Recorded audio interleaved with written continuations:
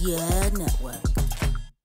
So, hi guys, my name's Nayana Mena, and today I'm here on behalf of Yeah Network for the private screening and premiere of the Legacy documentary film and book. We'll be hearing from the people that were part of the project of creating it and also hearing about the people that have come to watch. It's all about the evolution of the grime, rap, and hip hop scene in Birmingham, so stay tuned to find out more.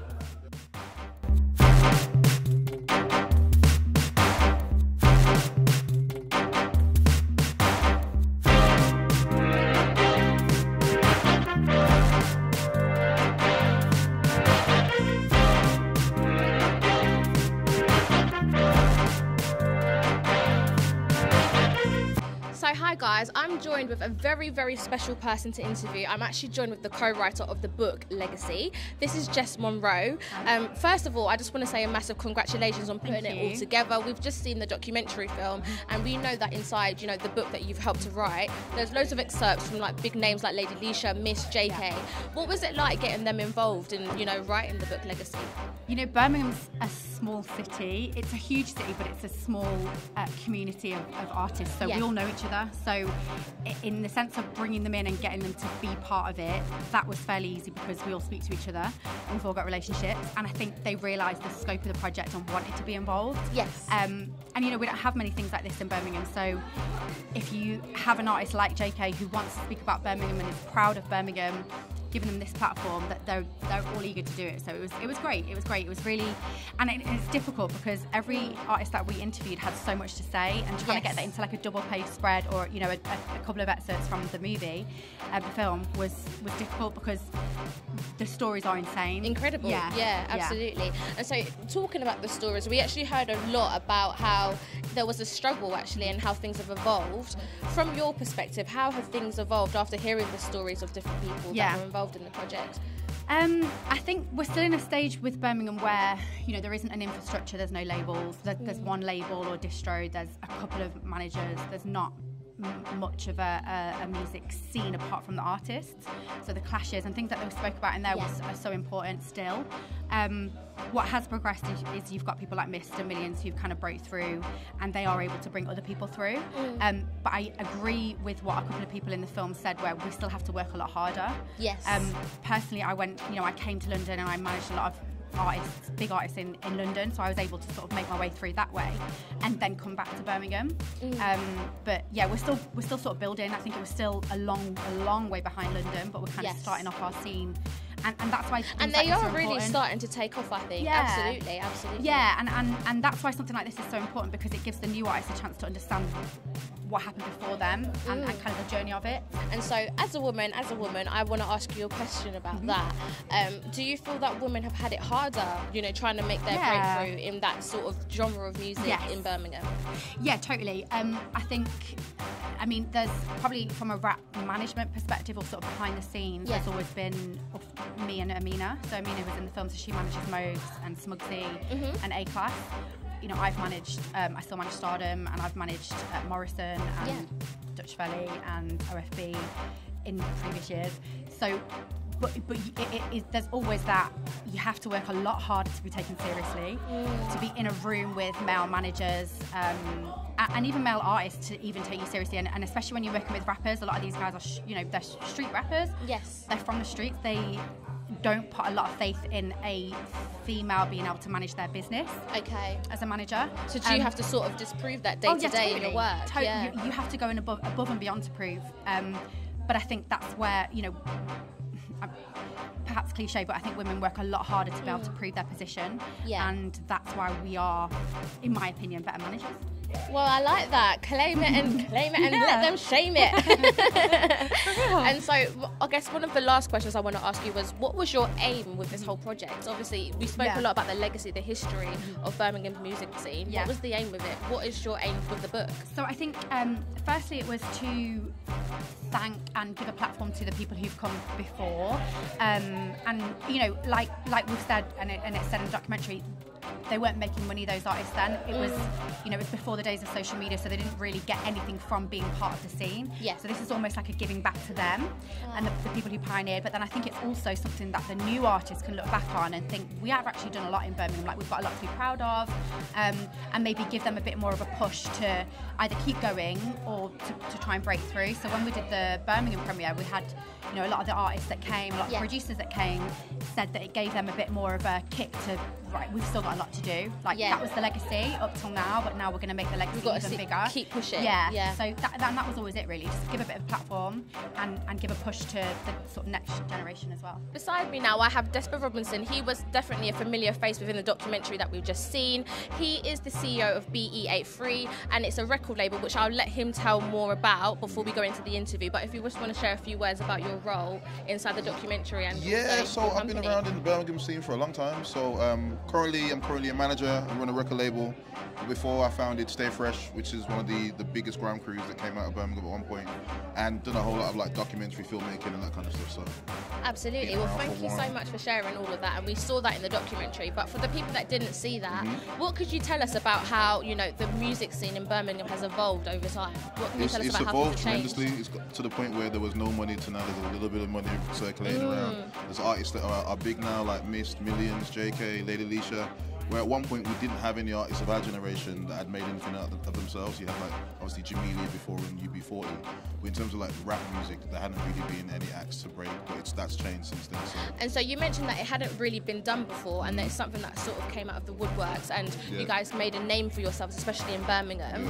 Do you think that's still something that's continuing to happen to Oh yeah, day? no, definitely, definitely. There's still like kids that are starting to break through. Um, there's a kid called Zeno who's who's got a track that's like going viral on TikTok at the moment.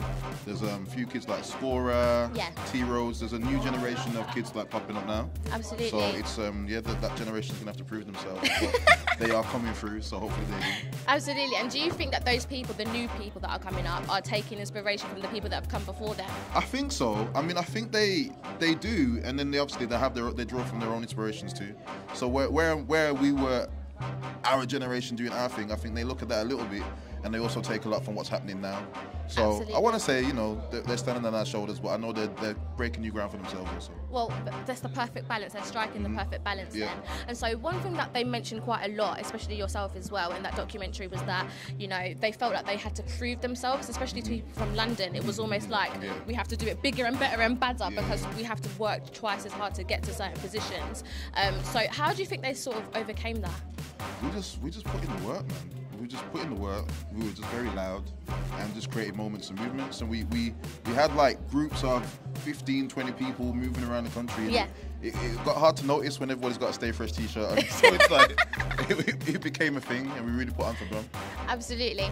And I know this is going to be a bit of a controversial question, but we have to bring it up. As a female, as a lady, I need to ask about the females in the industry. Yeah. Do you think it was harder for them to break through into the world of hip hop, grime, and I definitely think so, and especially I think somebody raised that about Leshurr in the documentary Yeah. as well, and I think her own lived experience she tells you has been difficult for her, and then people around her said the same thing. So I think Leash did a lot of fighting. Like I recorded one of her first songs in my Did studio back in the day, yeah. So Oh. I've seen how far it's taken her to come to where she is now. Um, so I do think females have had it harder.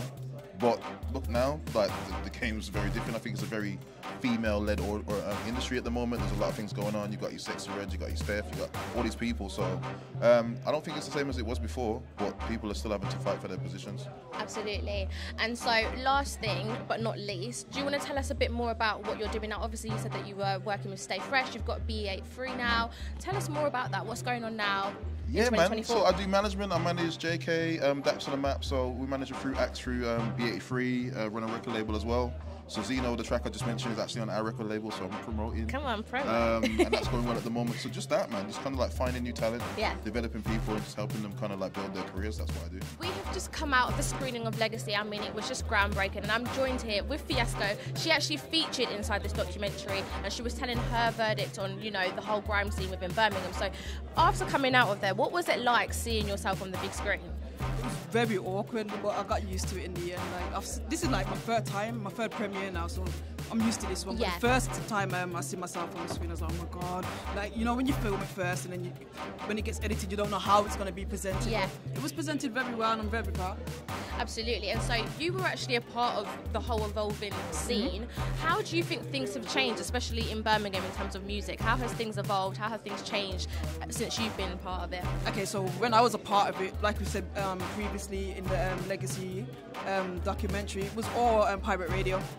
Um, so and we never really had um, internet. So things were like word of mouth. Um, we had to hand out CDs, travel places. So Yeah. it wasn't like how we've got internet now, where you can just send something over online and it goes like viral. Nothing Right. like that. So would you say like there was actually challenges with that? How it was back then? It was was it a lot harder to break through and make it mainstream? I think it was a lot harder, but at the same time, if you did break, break through, you know, they actually, they were fans. They actually Yeah. were feeling your stuff, so it, was, it wasn't a, um, a lose-lose. It was a win-win, to be honest. Yeah, absolutely. And so, as we know, we know that grime, rap, hip hop is kind of like an underserved Mm-hmm. sort of market. It's kind of a niche thing and it's made sort of an urban thing, Yeah. Mm-hmm. specifically just for black people. Do you feel that nowadays, hip hop music, grime, rap, all of that sort of stuff, do you think that they've found a way to make it to mainstream? Oh yes, definitely. Um, like if you go to most of the, um, say like wireless, yeah, the crowd is white.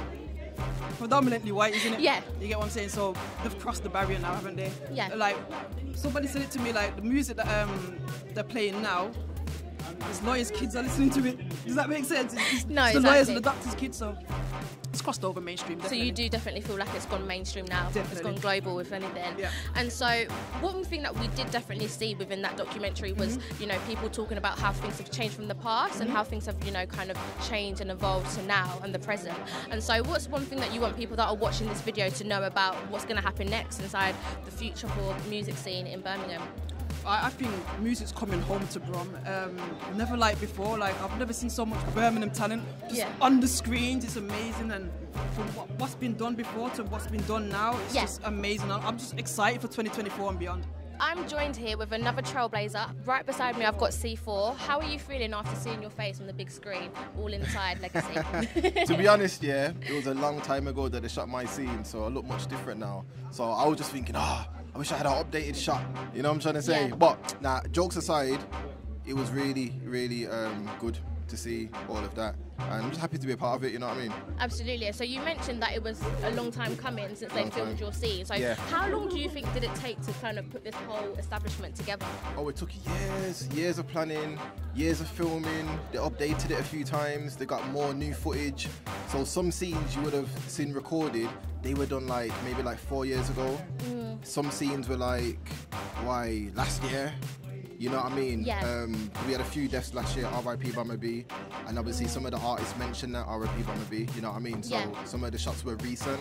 Um, so I wish I was part of that recent match, but you know I didn't get the call. But yeah, it's cool.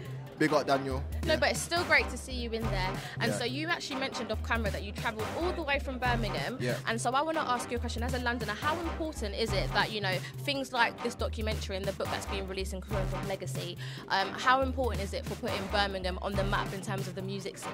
I think it's sick because I feel like people that um, are trailblazers in London, they need stuff like this to talk about as well. If we're just doing things, little dotted things in Birmingham, they might not get mentioned, but all of us together as a city, it's always powerful. I mean, even um, the set that we done with Spiral, Yeah. when all of the MCs came together, that created waves in the UK. Um, So I feel like every time our city comes together, it creates a big wave in the UK. So Yes. I just feel like that is important. That documentary is important, and I think it's gonna do big stuff. You know. Absolutely, Yeah. absolutely. And so you mentioned there it was all about the teamwork that put your city on the map. And so I want to ask you more about the collaboration side of things. Do you feel like in today's music scene, is there still that element of working together and being a team and collaborating, or do you think it's every man for themselves? Um, it's a bit of both. Um, at the moment, a lot of people are linking up and doing stuff. Um, but musically, I feel like there needs to be a bit more. Um, yeah, there needs to be a bit more. But I think Yeah. this documentary is good for, you know, maybe artists that aren't really active to kind of see that, see mm-hmm. where we've come from, and get that that energy and that boost to be like, you know what, we need to carry on. We need to continue the story. You know what I'm trying to say? So yeah, man, it's gonna be it's gonna be a mad um, wave. When is this dropping? This needs to drop ASAP. You get me? Like, the people want to know when this is dropping. Absolutely, absolutely. And so I want to ask you another question about how the music scene in Birmingham has evolved in the time that you've been in it and to this present day. How have things changed? I mean, we did hear a bit about it in the documentary, but for the people that haven't already seen it, how have things changed? Um, I feel like things have kind of gone a bit quiet, if I'm being honest, um, in terms of the waves that are happening. But I feel like our city is very, very ooh, what can I say? Like street yeah. music, you know what I'm trying to say? Like okay. so like the grime stuff, the the drill stuff, whatever. There are little dots of things happening, but as a scene, I don't think there's enough going on. That's why I said mm. I feel like this mm. documentary is important. It will kind of revive the energy in Birmingham. So it's going to revive the energy. It's going to revive the, the energy scene. in terms of the music scene, and also spread awareness about all of the greats that have come. That have come before, it. yes, yeah. and it's a nice base for people that don't know about Birmingham to see a bit of, you know, a lot of history actually, mm. um, and for them to take our city serious. And can I just say personally, I feel like it's important to do this in London as well, mm. not just isolate ourselves in Birmingham because we already know our story, but the rest of the UK they need to know our story as Absolutely, well. Absolutely, they have to spread it wide mean? and far. Wide and, and on far. that note, as a Londoner, what's uh, I guess a Brummie piece of lingo that I could learn to sound and give me street cred when I arrive there? You just say all right. all right. Wait, how am I saying it? How am I saying it? Give say me all right. All right. Am yeah. I saying it all right? Perfect. I feel like I sound like I'm from Essex. No, you're saying it perfect. You're saying yeah? it perfect. Yeah, all yeah, right. yeah. You got your little twang to it. All right. Yeah. All nice. right. Yeah, okay, I love that. And so, C4, tell us, where can we see you next? Where are we going to see you next? So, um, to people watching, because this is a worldwide thing, you know what I mean? So, I'm going to be in Texas for South by Southwest. Amazing. So, that's next month, March. Then I'm putting on my first London headline show. That's going to be at Camden Assembly. You're going to be there? Okay. Oh, yes, I'll, right, show up. I'll show up. So you're going to be there as well. Um, it's going to be a mad thing. I'm bringing out some special guests from London, some of your legends. You already know that I'm bringing out some of the people that you've seen on the flyer, like Logan Sama, Big Boy DJ, Big Mikee, who's all over that documentary, mm. Doppy, he just got nominated for a MOBO. Amazing. Um, Hitman, one of my G's from Birmingham, another legend. Um, and yeah, there's going to be bare special guests. So C4 headline show, mm. Camden Assembly, the 4th of the 4th, 24. It's going off blood. So guys, it's just been an amazing evening. We've heard from the people that created this film and book, and we've also spoken to some of the people that have just come to see the screening of Legacy. It really has been a blast. And if you want to see more content like this, make sure you stay tuned. You like, comment, and subscribe to Yeah Network. I've been Ayana Mena, your host, and we shall see you soon.